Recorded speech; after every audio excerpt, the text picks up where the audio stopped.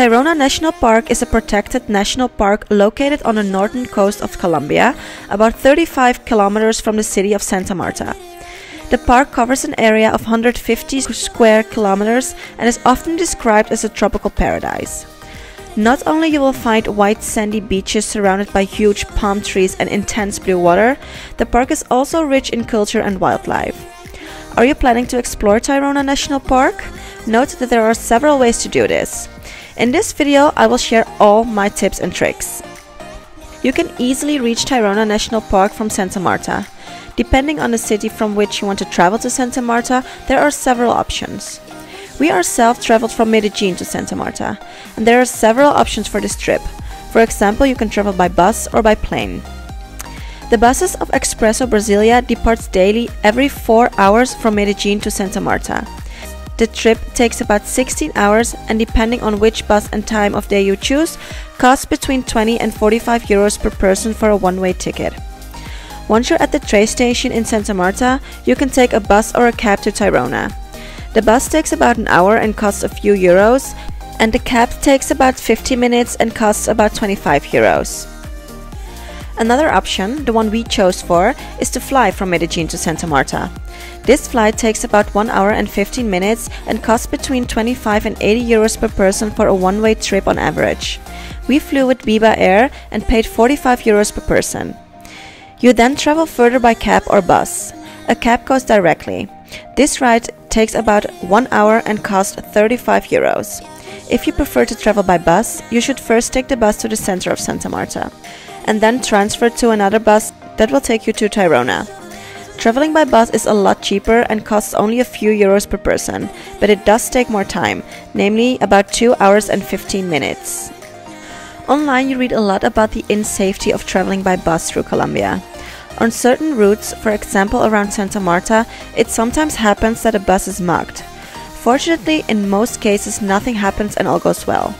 However, since we were traveling with a lot of expensive gear such as cameras, laptops and a drone, we opted to travel by plane and cab for a few extra euros. Just do what makes you feel comfortable and safe. If you're traveling from Cartagena to Tayrona, there are no direct flights to Santa Marta, so the best and cheapest option is to take the bus. A good option are the minivans from Marsol. These are small buses that pick you up and drop you off at your accommodation. The price of such a bus ride is about 15 euros per person and the ride takes you about 4.5 hours. Tayrona National Park has two different entrances, namely El Zeno and Calabazo. El Zeno is the main entrance and is best to use if, like most people, you want to walk to Cabo San Juan. Are you planning to go to Playa Brava? Then it's best to choose the Calabazo entrance. Tayrona Park is open from 8 am till 5 pm. The entrance fee to the park is about 30 euros per person at both entrances. You can pay this amount either in cash or by credit card.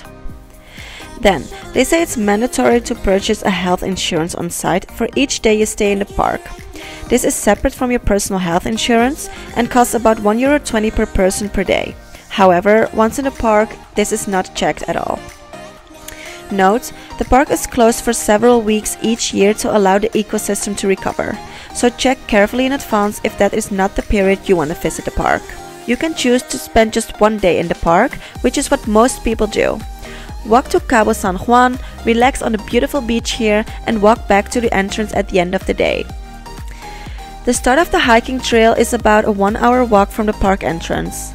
It is also possible to take a minivan from the entrance to the start of the hiking trail, then you will be there in just 10 minutes. To take this minivan, you pay about 1 euro per person for a round trip. Hiking to Cabo San Juan takes about 2 hours. Along the way, you will pass several beaches. Of course, you can stop at these places to enjoy the beautiful views or to cool off in the water. While hiking through the jungle, pay attention because you can encounter wildlife everywhere.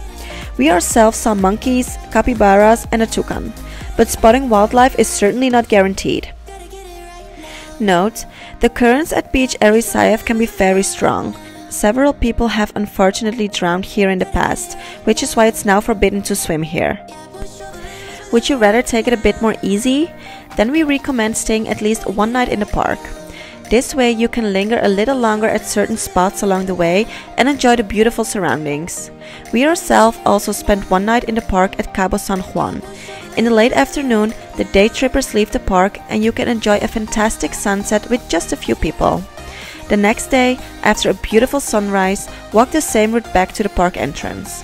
A little tip between Cabo San Juan Beach and La Piscina, you will find another beach. As far as we know, this place does not have a name, but it is incredibly beautiful. The best part? You will have this place all to yourself because there are no other people here. This is also the beach where we took almost all of our drone shots. Should you wish to stay even longer than one night in the park, then you could also choose to walk from Cabo San Juan to Playa Brava. This is a hike of about 3 hours, during which you have to climb quite a bit here and there. Therefore, it's a lot quieter on this beach. From Playa Brava, you walk in about 2.5 hours to the other exit of the park, Calabazo. A tip you can also walk the other way around. Start at the Calabazo entrance and walk via Playa Brava and Cabo San Juan to El Zeno. Where to stay in Tayrona? Do you want to spend just one day in Tayrona National Park? Then you can choose to book an accommodation close to the entrance of the park so you can be one of the first ones there in the morning. Hi guys, we have arrived in Tayrona. It's really hot here, so I'm sitting inside our cabin underneath a fan because we're not used to these temperatures yet. I can't wait to visit Tayrona National Park tomorrow. Um, we chose an accommodation just outside the park. It's very close to the entrance called Zeno. Yeah, it's like a five minute walk from here. So the plan is to uh, stay a night here outside the park and go very early tomorrow morning to the entrance and uh, reserve a tent uh, to stay at inside the park.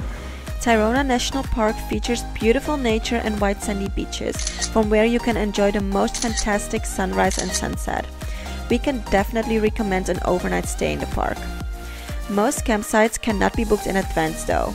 The best way to reserve a spot is early in the morning before the park opens at the El Zeno entrance. In the park you will find a number of campsites where you can stay. The most popular place to stay is Cabo San Juan and we totally get why. Cabo San Juan is about a 2 hour walk from the start of the trail. The camp and beach are located in the bay, so the water is very calm and you can have a nice swim here. Should you also want to stay in Cabo San Juan, you have the choice of a basic tent or a hammock. These are located along the beach, so you wake up with a beautiful view. For more information about spending the night at Cabo San Juan, I would like to refer you to my blog, of which I put the link down in the description. So that's it for today's video. If you liked it or found it helpful, please give it a thumbs up and also make sure you're subscribed with notifications on so you don't miss any future videos. I want to thank you guys for watching and I hope to see you for my next video. Bye!